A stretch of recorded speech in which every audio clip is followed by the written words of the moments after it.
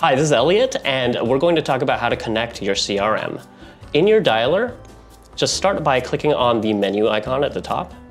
Click on Settings, go down to CRM, and in this case, if you already have a CRM connected and are trying to reconnect one, you can click on the delete button, confirm that. If you don't have one already connected, this is your first time, no problem. Just either way, click on the plus button to add a CRM and click on your CRM provider. Uh, common ones include HubSpot, um, Go High Level, Zendesk, Salesforce. Uh, in the case of Go High Level, you're going to want to select Lead Connector, which is the name of Go High Level's CRM integration software. So let's do that here. We'll add it. And normally you're already uh, logged in to your CRM in another browser window, for instance.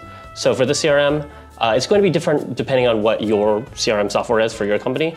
In this case, we're going to select your sub account or the account that is most associated with the CRM at your company and just follow through that procedure. Proceed, continue, and in seconds, you'll be connected to the Kixie dialer.